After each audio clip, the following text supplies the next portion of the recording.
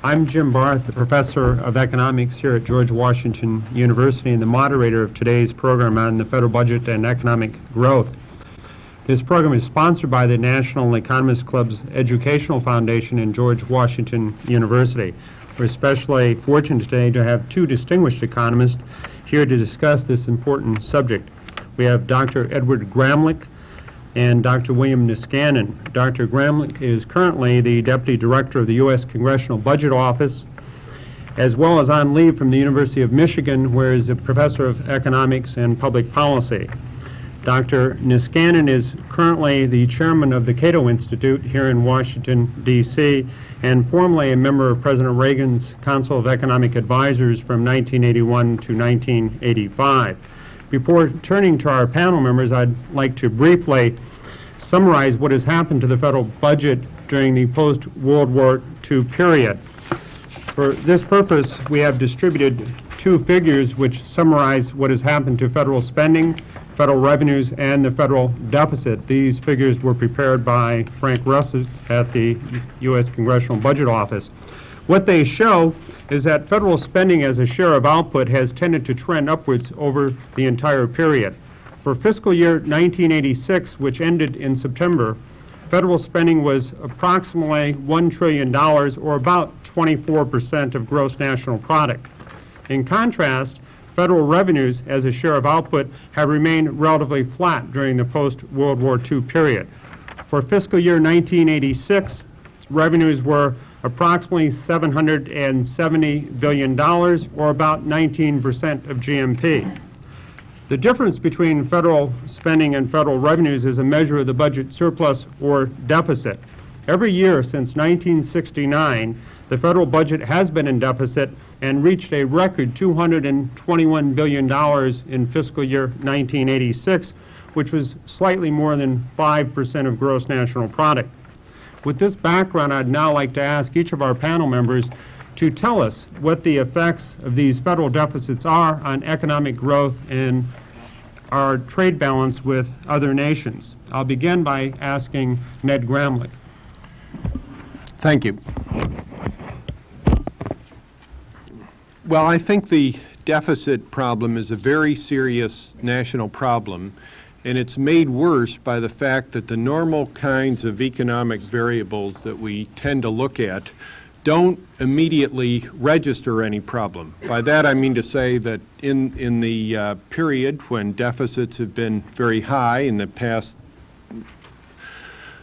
uh, five to seven years, depending how one counts. Over much of this period, interest rates have fallen, inflation has fallen, unemployment has fallen, and real GNP, at least since 1982, has risen at at least a standard rate, if not an outstanding rate. And so it is very natural to ask, well, if such is the case, when we've had large deficits, what is the problem?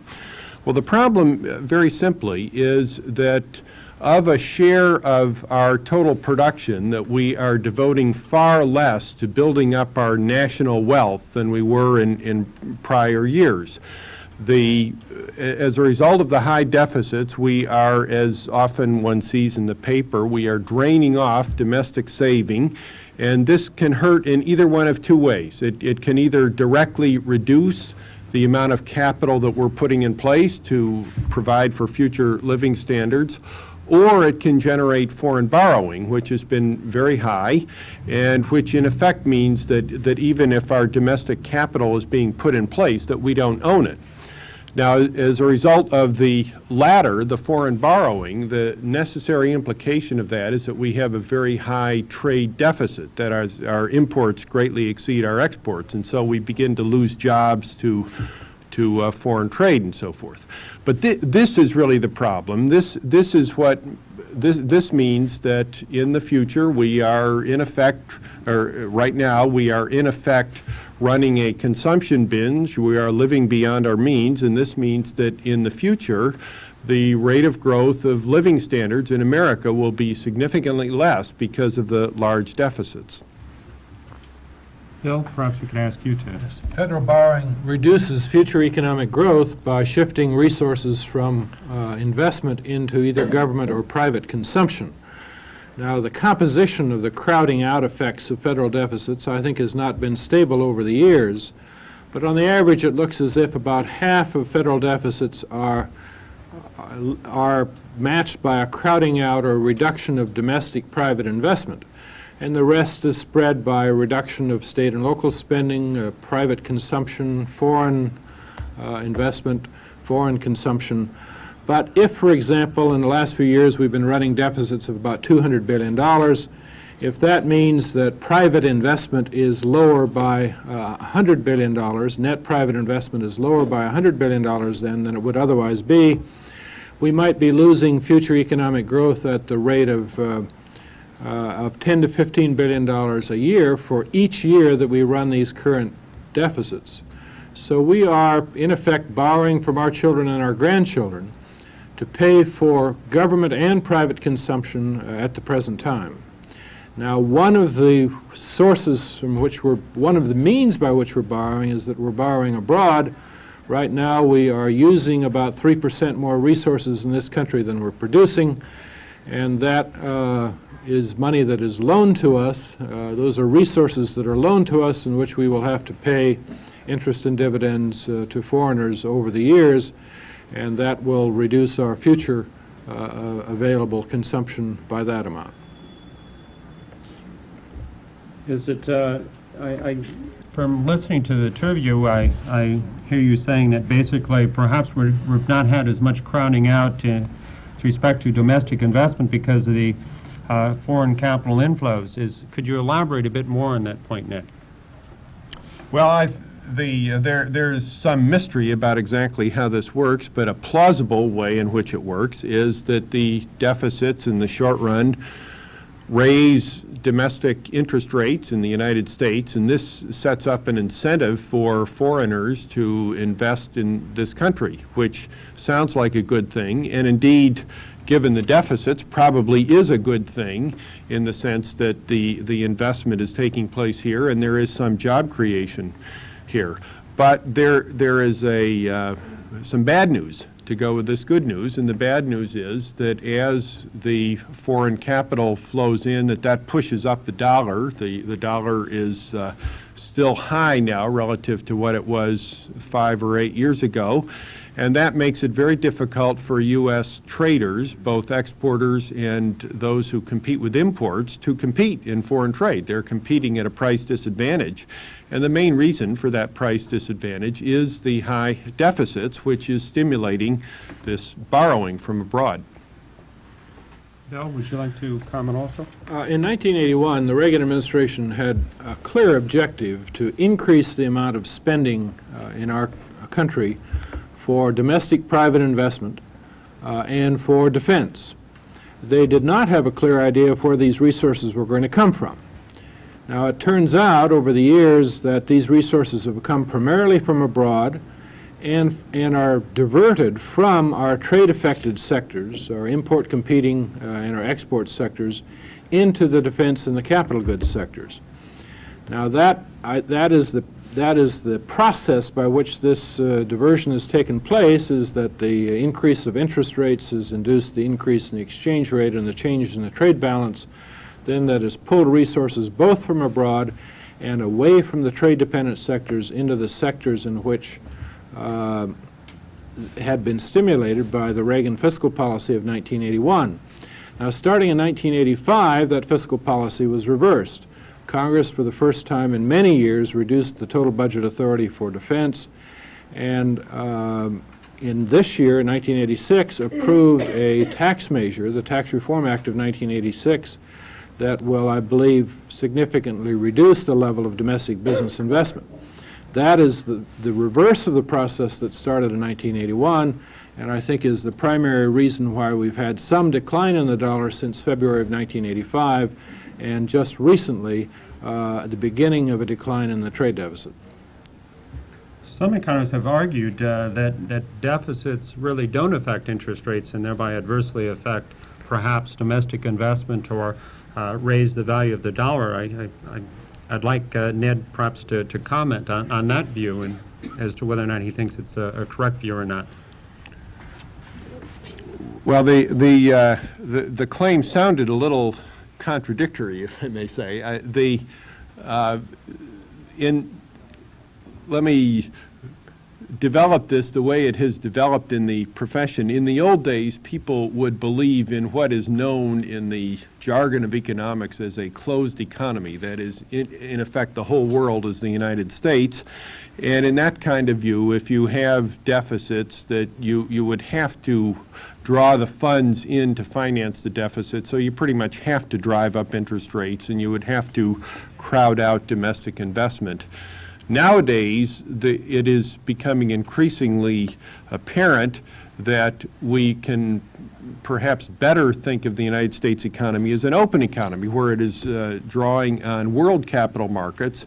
And what happens in, in this kind of uh, a, system is that it, it can take a fairly slight rise in interest rates, maybe so slight as to be barely perceptible, to draw in the capital, take advantage of the high rates of return in America, drive up the dollar, and, and cause the, the trade balance to suffer. So that the, the kind of situation you get is that if interest rates move a lot, it is likely that the trade balance will move very little.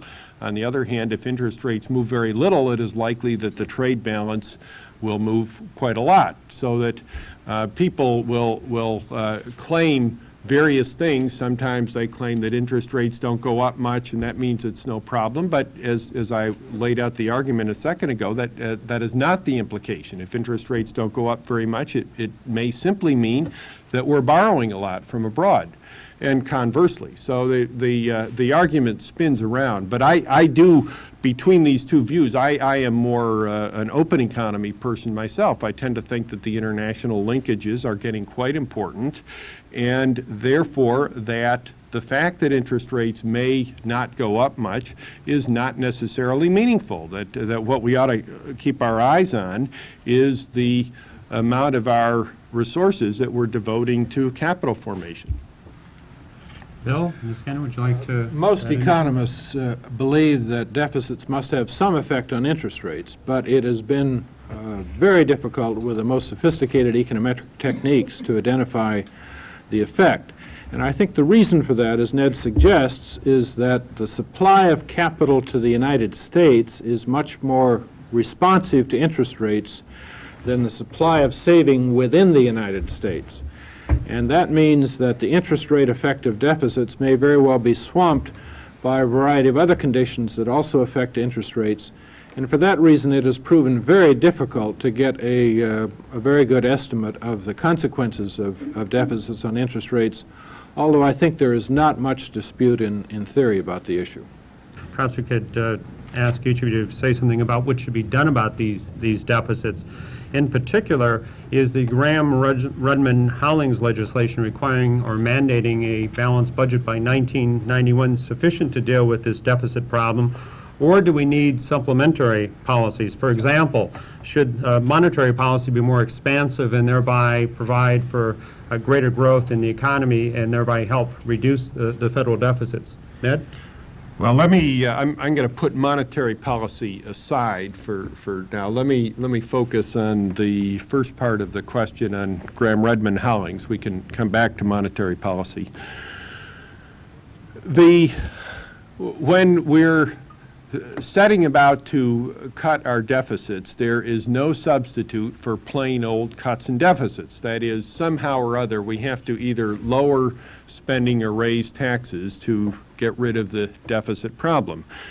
There is an aspect of Gramm Rudman Hollings that was black magic, that we would simply legislate a declining path for deficits over a five-year period, and having done that, we could all go home and uh, that, that the deficit problem is now legislated to go away, and it will go away, and we don't have to attend to the problem. If this kind of thinking uh, goes out with Gramm-Rudman, which I probably, uh, it's probably no surprise to say is, uh, it, its life is uh, in, in some doubt right now, then that won't be, that, that kind of thinking won't be missed. But I think there is another aspect of Gramm-Rudman that that was actually a bit helpful in, in this first year, the 1986, where, which was really the first budget negotiation that took place with the law in effect. And that is that, that the Gramm-Rudman cuts were, were so painful on such a limited section of the budget that really everybody realized that these could not be allowed to happen. They would just got certain aspects of the budget. They would leave totally protected other aspects of the budget. It, this would be both uh, inequitable across budget categories and uh, and quite unwise, inefficient even in the economics jargon again, and that uh, the the uh, the whole pattern of cuts was was so undesirable that we couldn't let it happen, and we had to sit down and negotiate a budget compromise. Now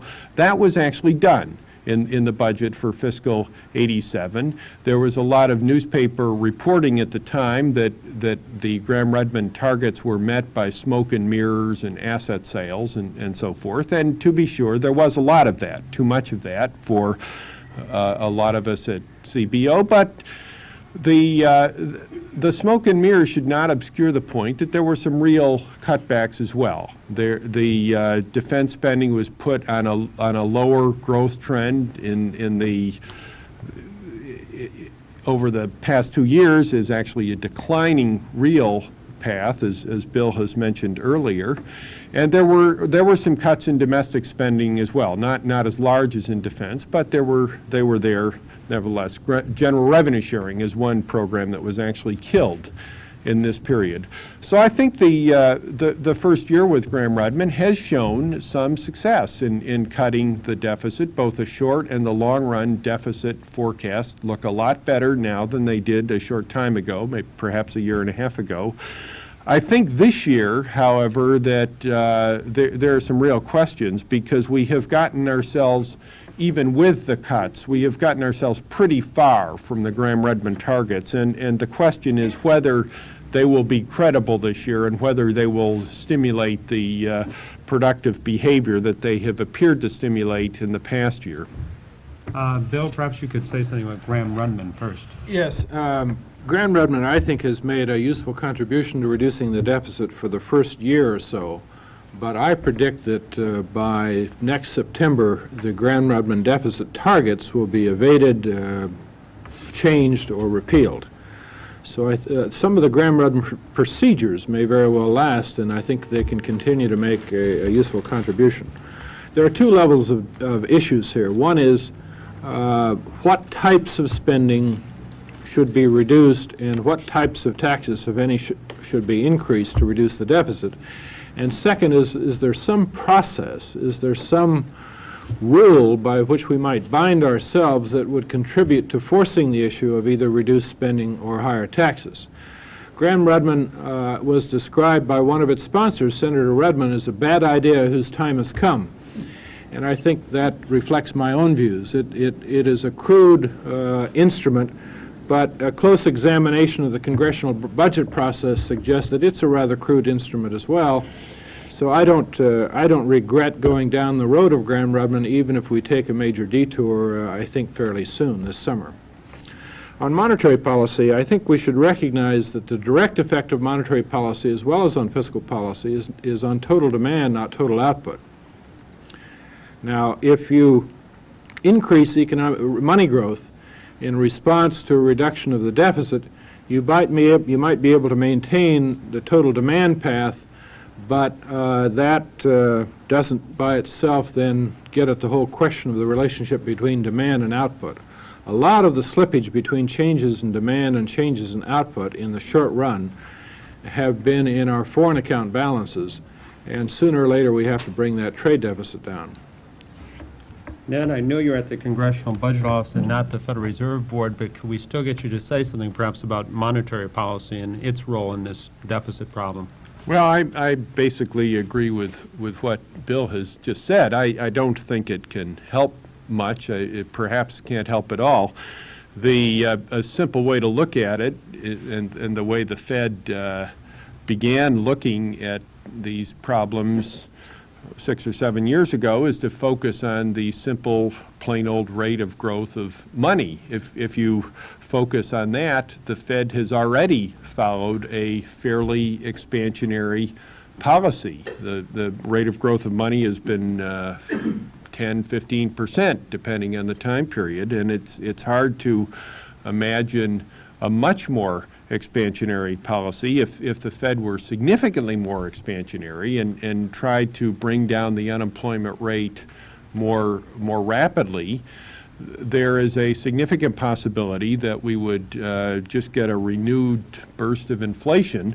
And one thing that, that has been fortunate in the 80s is that the rate of inflation has gone down, and I think nobody would want to go back to the, the earlier period when we had high inflation. So I would be worried about uh, renewed expansion, uh, a, a much more expansionary monetary policy. It, it's, it's of course true within uh, a narrow range that uh, if the Fed is more expansionary, uh, gro- economic growth will be perhaps slightly greater for, for some period, and, and we'll get more tax revenues. But, but that is really not the solution to the problem. The solution to the problem is in fiscal policy, and, and in particular in either cutting spending or raising taxes. Uh, Let me follow up, Ned. You, you mentioned asset sales and, and seem to give the impression that you're opposed to the sale of assets, uh, perhaps to deal with the deficit problem.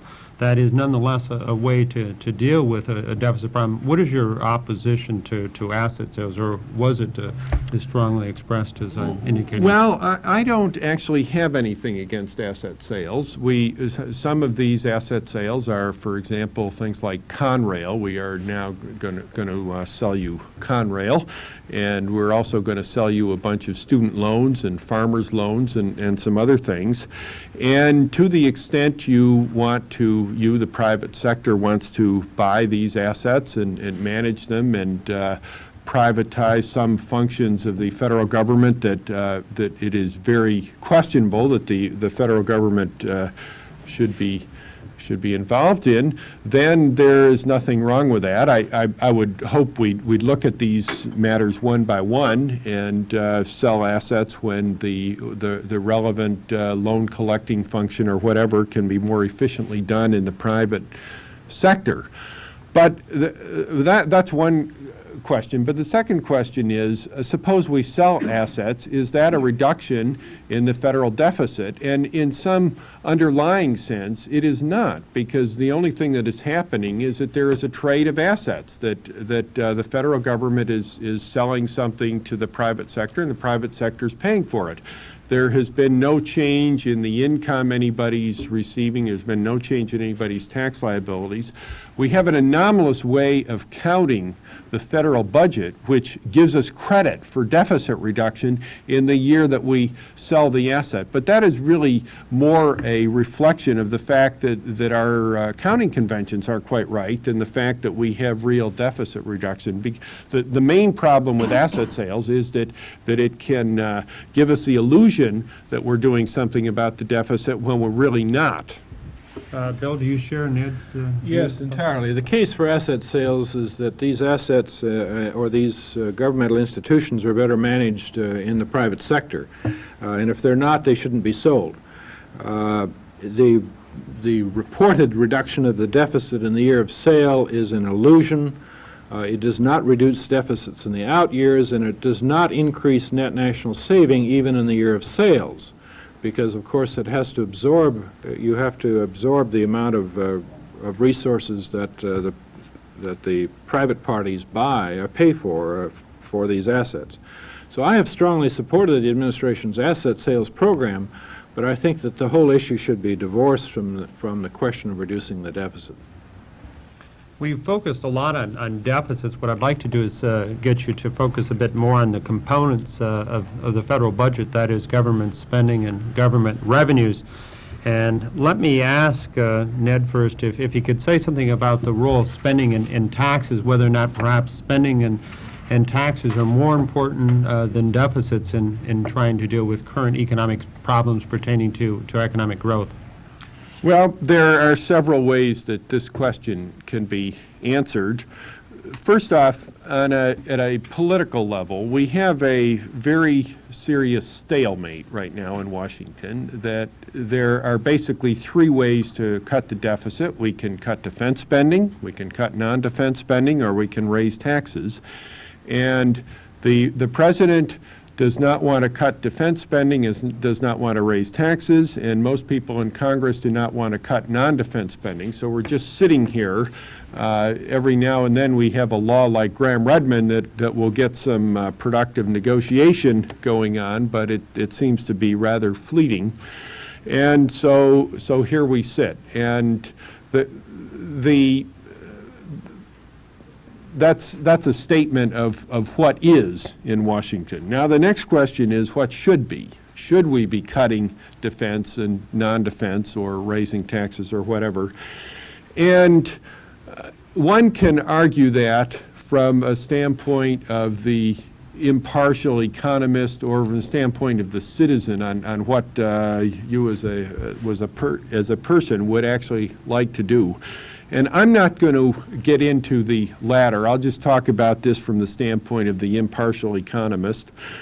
The, um, there are arguments for not cutting defense spending. One can, if, if, you, if you look at the uh, record, one can clearly develop a case that we were in, in a risky national security position around about the late 70s or the early 80s, and we had to build up the defense budget. The, we have built it up a lot. Defense spending has risen at, uh, I, I can't quote a number, but perhaps uh, between 81 and 85, maybe 8, 10% real terms. It's now significantly higher than it was. It's been cut in the last two years. The, there, we have, uh, we're preparing options all the time on, on, on ways to cut the defense budget, and I can tell you that uh, even looking as hard for, for potential cuts as I, as I do, when you start with, with a flat pattern of defense spending that is now programmed and look for, for cuts, it, it looks to me like we're, we're making real trade-offs. That's not to say we shouldn't make them, but it, it is to say that there does not seem to be extraordinary amounts of uh, waste, fraud, and abuse, to, to use three words I heard somewhere, in, in the defense budget. Now, on the domestic side, the uh, things get more controversial. I mean, there, there are a number of programs like uh, programs for low-income people, welfare and things like that, and these have, have already suffered very sharp cutbacks in, in real terms. Most grants to state and local governments have, have already suffered very sharp cutbacks in, in real terms the, uh, there, there are a couple of rapidly growing items in the budget. One is the farm program that is, that is really uh, almost gone out of control, and I think most economists would love to cut that back, but, but most politicians will immediately give you the reason why we can't. And then we have the entitlements, Social Security, Medicare, and things like that, where there, there is growth. But on the other hand, there is a trust fund to, to pay for the benefits. So, so this long uh, journey through the federal budget indicates that it's long but quick, but in any case, the, the indication is that there, there is not a lot of stuff in there that is easy to cut. That's not to say we shouldn't try, we shouldn't do some, but, but there are, there are certainly uh, sensible reasons for keeping the spending, and there's certainly strong clientels in, in favor of keeping it. And I, I guess my position on this is then that uh, we, we go through and try to cut what we can cut. But once we're done with that, and we, we've been at it for five or six years, then I think we have to tax ourselves to, to pay for these, these spending. I'm all for trying to cut spending, but we have, we have tried hard and we're just not getting very far with it. And, and at some point, we, rather than uh, trying harder, we, we may want to, in effect, just uh, give up and, and tax ourselves for the spending that we seem to want to do. Bill, could we get you to respond? Yes, the uh, central insight of supply-side economics is that the economic effects of fiscal policy depend importantly on the details of the budget and the tax code. Now, the implications of that are that you can have a wide range of economic effects for the same budget totals, uh, depending upon how the money is spent and how the money is raised. Now, an economist can describe more or less the, uh, the consequences of changes in components of the budget and changes in, in uh, the structure of the tax code on the economy. But to go beyond that then reflects the person's own political judgments about what it is that the federal government ought to be doing or should not be doing. Uh, I think we can, Ned and I are very likely to agree, at least in the general direction of the economic consequences of these different types of changes. But uh, the, the hard questions are, uh, is it more important to spend money for some specific government program with its economic effects than, uh, than to reduce the deficit? And that is something in which uh, we have no, I think, no special expertise. Now, I've got a long list of things that I would like to see cut, and if we have to raise taxes, uh, a preferred list of taxes uh, to consider, but uh, that uh, would reflect, in that case, my personal uh, political values. Can I ask you, I mentioned at the outset that federal spending was about 24 uh, percent of gross national product, and it had been, it has been trending upwards uh, throughout the post-World War II period. Whether uh, an economist can say anything about the optimal share of output that ought to go to the, the federal government. Is that uh, a question you'd like to try and handle, Ned? I, I don't think an economist can say much about that question. I think that um, going back to the supply side factors that Bill mentioned, that most economists, even liberal economists, would say that, that when tax rates got very high, such as they are in many European countries now, that when you have a deficit, that is, your, your spending line is above your tax line, that in some sense you have no option. That is, you can't raise tax rates any higher, and you have to bring spending down. I, I was eh, uh, visiting Sweden last summer, and I would put the Swedish economy in that category. There is simply nothing left that moves over there that they haven't taxed to the maximum rate. And there, I think their options are closed, and I think an economist can go in, as, as I was one who, uh, one of a team who did, and say, look, you've, you've got to cut your spending. There's just no, no option here. But I think that I would put the United States in a different category. Our tax rates are not high by international standards. They may be higher than they should be, but uh, tha- that is not a judgment that one would get to on economic grounds. So I would say that we're right in a range when it becomes a more political decision, and less an economic decision. It's really a decision about how much we value these extra spending programs that, that are, uh, that, that take spending up to 24% o- over the 19% that we're prepared to tax ourselves. Uh, Bill, perhaps I could ask you to uh, perhaps deal with the issue of should we perhaps raise taxes now to, to finance this spending at about a 20%, uh, 24% share of output?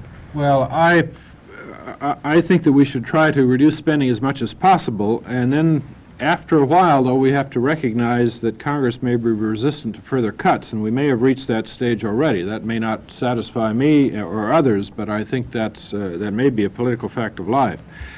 At which time, I think then we have to consider uh, raising taxes. Now, an economist can bring some, um, some advice to that process, however.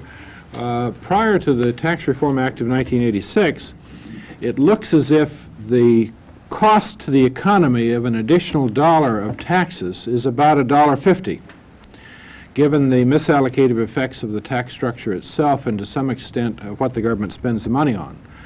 And that means that we should apply an increasingly stringent test to government spending as a function of how high taxes are and in part a function of the structure of the tax code. In country, in, in, in Canada, that estimate is like two dollars uh, of cost to the economy for every dollar of additional revenue. In countries like Sweden, Denmark, uh, Netherlands, and so forth, that number is probably a lot higher than that. That means that we should be placing a very, very stringent test on the case for additional federal spending because the costs of that spending are a good bit more than the, than the direct budget outlays for that, uh, that activity. Right now, we're in a political impasse because our political system is reflecting uh, almost a schizophrenic preference for 24% of our GNP spent through the federal budget and, and taxes of only 19% of GNP. And it, it impresses me, however, that if there is an optimum for the U.S. population, it is very likely within that range, uh, within the 19 to 24 percent range. We would need a 40 percent increase in revenues from the personal and corporate income tax to balance the budget. And I cannot believe the American public would support uh, 24 percent of GNP through the budget if they faced that much higher taxes. Conversely, we would need something like an eight-year period of, of zero real growth of the federal budget to balance the budget without an increase in taxes. And I don't believe our political system is going to be willing to do that. That means two full presidential terms of no growth in the federal budget would be necessary to balance it without a tax increase. So for the American population, given the kinds of preferences that are reflected uh, one way or the other through our political process, I think that that number uh, is somewhere between 19 and 24 percent. Uh, that's, that is just a, an empirical observation, given the way that this process has worked.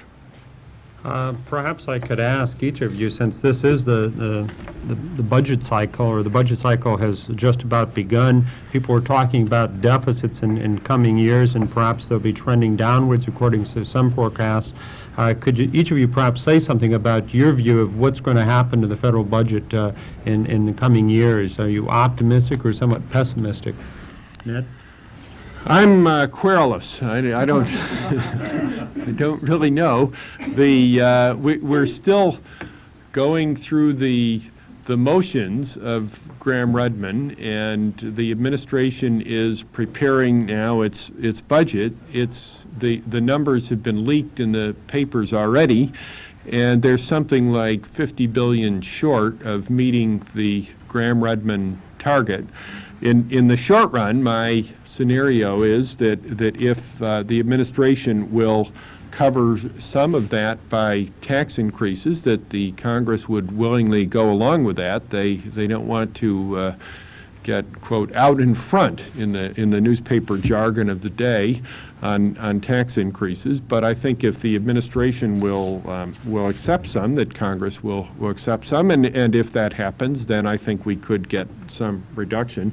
And by the way, there are some possibilities for increasing taxes that, that don't necessarily worsen the tax distortions that, that Bill referred to. There are ways of, of adding to user fees or, or uh, well, in, in particular, the, the two large entitlements, both Social Security and Medicare, are financed out of a trust fund where the payroll tax is not really adequate to take care of the expenditures over a period of time. So that would be a logical candidate for some increases as well. Um, in the in the longer run, would we uh, continue on the, or would we continue the halting efforts in the form of deficit reduction that we have begun this year? That question is so in- inextricably tied up in, in uh, political prognostication, what party is going to be in power, how strong is the president going to be versus the Congress, what are they going to want? What are the Democrats going to want when they figure out what their uh, what their goals are, et cetera, et cetera, et cetera? That that I don't see how anybody can can really uh, say what's going to happen, and I'm not going to try to. Well, let's get Bill a try I to will, say. though. Fine. I'm on record in, in predicting that the next administration takes office in 1989 will face a, uh, a deficit in fiscal, in that year of $180 billion. So I think the deficit will continue to be very large. It will not uh, be down to even manageable or tolerable, sustainable levels uh, by that time. Uh, The budget that the President submits in January and the first congressional budget resolution of next year will not show deficits that high. But there is a fairly consistent record of actual outlays being about 4% or so higher than either the President's budget or the first budget resolution. And I think that we'll have significantly higher outlays than what either of them say uh, earlier in the year, and we'll have a substantially higher deficit, maybe $100 billion higher than the Gramm-Rudman target for fiscal year 1989. And basically, uh, uh, the two of you then, I guess there's some disagreement there perhaps at, the- at the end, though not uh, much to, to to be overstated. Perhaps what we could do now is, uh, is turn to our attentive audience and, and get them to ask some questions, which perhaps I haven't uh, asked of you thus, thus far. Uh, Yes, we have one over here. We've passed the four-year mark since the last recession, and the- that's the average length of time uh, since World War II uh, for a recession to occur. Not many people are predicting one, but if one were to occur, what would be an appropriate fiscal policy, given that we're running uh, 4 or 5 percent of GNP deficits and running monetary policy growth of 13 percent? Bill? My preference is, is to do as little as possible in, in response to the recession. Most of the kinds of fiscal measures that are initiated during recessions are something that you live to regret very quickly uh, during the recovery. And I think that it, it takes considerable discipline to avoid turning, you know, opening the spending door or the spigot uh, at that time, but it's, it discipline, I think, should be maintained. Ned? I, I agree with that. The, there are two other points, though, that I'd like to make. One is that we have what, uh, again, I'll, I will use a jargon term, we have what is known as automatic stabilizers. The fact that when there is a recession, tax revenues will decline automatically, unemployment benefits will go up automatically. These will happen. I would propose that we, we let them happen, and, and so there will be some stabilization of the recession from, from that. The second point, however, is that the fact that we are faced, or, or could be faced with this awful choice in a recession is an indication of the problem that we have gotten ourselves into. Normally, we would say, if you have a recession, you could, you could use perhaps fiscal policy, subject to some of Bill's caveats, you could use fiscal policy to fight the recession. But we have really uh, overused fiscal policy already. We're just not in a position to, to run another uh, large discretionary deficit on top of the automatic deficit. I, I think that we would, we would have even more trouble righting ourselves eventually. And so I think that uh, that, that is certainly a, a, a definite cost of the, the deficits that we've had, that we, we just can't use this instrument in the way that it is uh, sometimes helpful to use it. Yes, Murray Foss?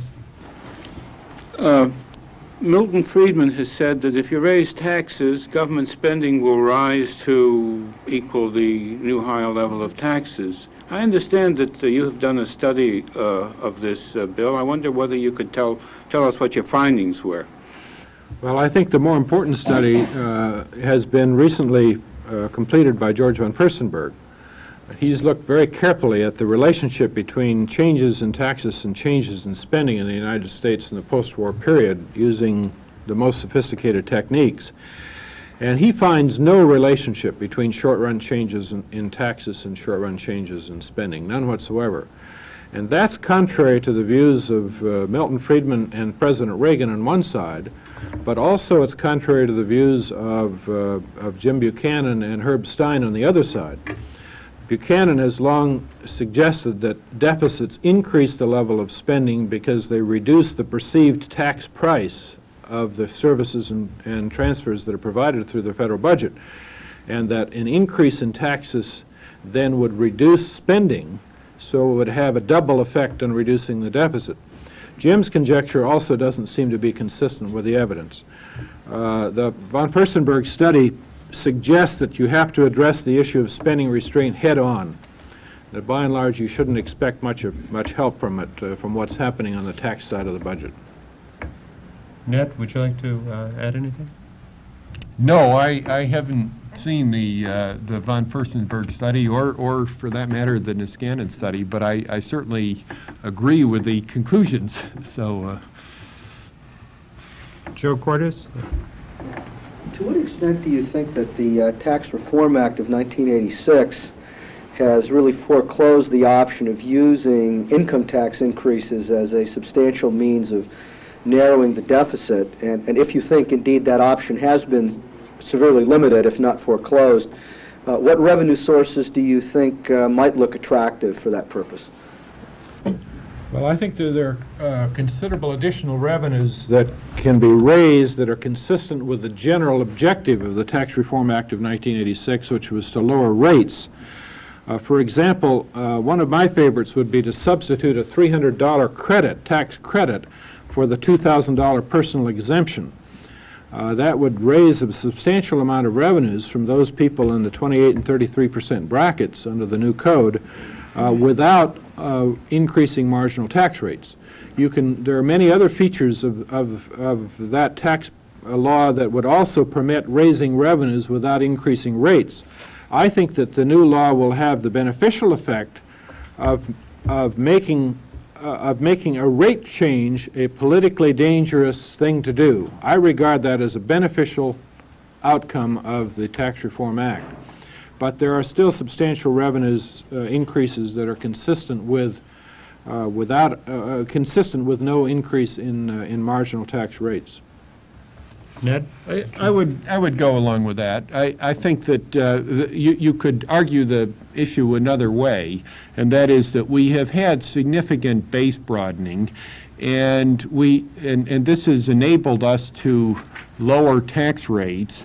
On the one hand, those preferences that remain in the tax code look more unfair now to the people that gave up their tax preferences. On the other hand, the fact that the rates are lower means that there is less in it for the people who benefit, so that the amount that they would be prepared to invest in lobbying and so forth should go down. And there are still a significant list of, of things that, that could go if we ever went at base broadening again. The homeowner preferences could go. We could begin to tax fringe benefits more than we do now. We could begin to, we, we have already made state sales taxes non-deductible, and we could make the state and local income and property taxes non-deductible, and there, there are many others. The second point there is that um, you, you could interpret the, the tax bill, I don't think anybody had this in mind, but one way of interpreting it is to, in, in making sales taxes non-deductible, there, there may be an encouragement of states to get out of that business. And it, it may be that at some future time, we could have a national value-added tax or something like that. There are ways of, of removing the supposed regressivity of that through altering the credits on the income tax. I don't, I don't view that as a serious problem. And, and that may be a, a sensible complement now to the income tax that we have just um, left ourselves with. So I, I don't um, think that the Tax Reform Act has by any means precluded future revenue rises. And I think, uh, moreover, that there, there are many sensible ways that we could now uh, raise revenues, wi- given the, the Tax Reform Act. Frank Let me, let me elaborate. Uh, I would oppose uh, a major new type of tax, like, particularly like the value-added tax, unless we had uh, a constitutional restraint in place on the total taxing and borrowing authority of the United States. Uh, Value-added taxes would be such a, a powerful revenue engine that I think it is likely to uh, fuel a, a rapid expansion of total spending in the United States. And that's, as I, that's just contrary to what I reported as the results of the von Furstenberg study. But I'm convinced that uh, over a longer period of time, that the Social Security tax has been the major source of revenue growth in the United States, and the value-added tax has been the major source of revenue growth uh, in Europe. And I would, I would be reluctant to see us put that kind of revenue engine in place until we had a, a stronger uh, set of restraints on the total taxing and borrowing authority of the government. Uh, Frank Russick? Yes. We've had large deficits now for several years, and you two have just discussed the uh, ill effects of these deficits on the economy. Yet, some people like Robert Eisner have suggested that for various reasons, the deficit is not um, a very good uh, measure of the federal government's impact on the economy because inflation, changes in the government wealth position, and things like that. Um, do you have any views regarding how one could better improve the measurement of the government's impact on the economy than just looking at the deficits or taxes or spending? Well, there, there are any number of ways that we could compute the deficit either in a better way or in another way. We, we could uh, do as Eisner suggested and eliminate the inflation premium from interest rates. We could, you could uh, improve the treatment of the asset sales that we discussed previously. We could go all the way to a capital budget that uh, Donald Regan has, has said that he wants to do. We could adjust the budget for the cycle. You could, you could go on and on and on. The, um, one, one can make a good case for a lot of these adjustments, but even if one makes a lot of the adjustments in the recent period, you find that deficits are much higher than they used to be. So a lot of what we're talking about is a problem that, that goes beyond the measurement issue. The measurement issue obviously changes the numbers, and we get different numbers if you counted things differently, but you still get the same basic story, and that is that we have a worse deficit problem by a lot than we used to have.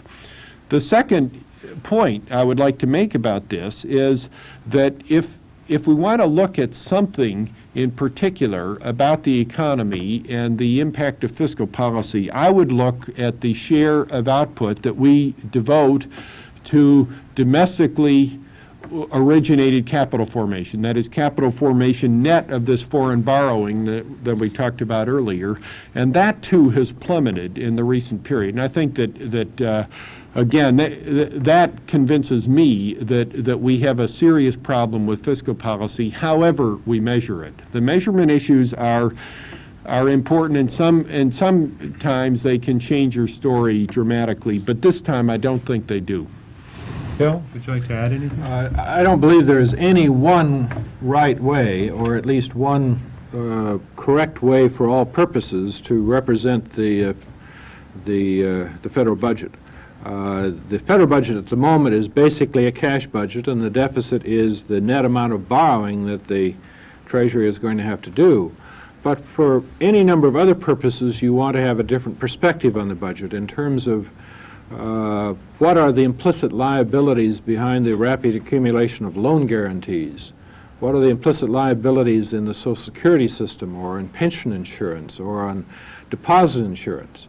You, but you don't need those kinds of estimates for management of Treasury cash flow, but you would like to have estimates of that nature, uh, of that nature to address whether those particular programs, whether it's deposit insurance or, or pension insurance or uh, or our Social Security system uh, themselves ought to be changed. I don't, I don't think that moving toward a capital budget or uh, making the government budget um, look more like a- an income statement, uh, a business, uh, a business's income statement, I don't think that that's likely to enormously improve the uh, public decision-making, but I think there is a case for looking at somewhat broader concepts or different concepts for particular purposes. Eisner's claim that somehow uh, a different measure of the deficit has uh, clear economic effects on the, on, uh, clear eff- effects on the economy is a claim that I think is not supported. Yes. I suspect that by and large, the intergenerational uh, inequities of income distribution are uh, worse in some sense than the intra-generational ones. Uh, all of this, coupled with the earlier discussion, suggests to me that there is lurking beneath the discussion an essentially non-economic judgment as to what the right rate of, of intergenerational transfers should be. Uh, what judgment underlies uh, your two views? Well, I have to be very brief. Time's just about run out now. Perhaps, Ned, you could uh, respond to that uh, question? Well, the, uh, you are of course correct, that, that uh, the whole question of how much of our output we devote to saving, building up the capital stock, providing for the future, is ultimately a question of income redistribution. Do we get it or do our kids get it? And in that sense, there is no objective argument that, that one can give. It could be that America has been saving too much all along. We have now cut our saving rate in about half, the way I compute it, and, and it could be that that's the right rate, and, and there is no logical reason for believing that, I mean, for, for uh, questioning that. There are, however, a lot of straws in the wind that point in the, in the other direction. There, one, one way you can uh, look at that question is uh, what, what is sometimes called a neutrality standard, that, that we ought to let the private sector determine saving rate and have the government not play a role. Well, the government is playing a big role now. It's withdrawing a lot of these saving to, uh, to, to provide for higher spending. There, there is a uh, fancy theoretical standard that, that is sometimes known as the golden rule of capital accumulation that, that tries to work this all out mathematically. And, and by that standard, we are way under saving. We are under saving compared with other countries in the world that we're competing with in international trade. And so you can look at this a lot of different ways. Nothing is absolutely conclusive, but they, a, a lot of them point in the direction that this consumption binge is the wrong thing to do at this particular time. Well, then on that less than optimistic note, I'm afraid we're going to have to stop. We'd certainly like to thank our, our two uh, distinguished uh, speakers for appearing here today. Uh, Ned Gramlich and, and Bill Niskanen, you've done an excellent job, and we've had a very attentive audience, and, and that wraps up our program then on the federal budget and, and economic growth.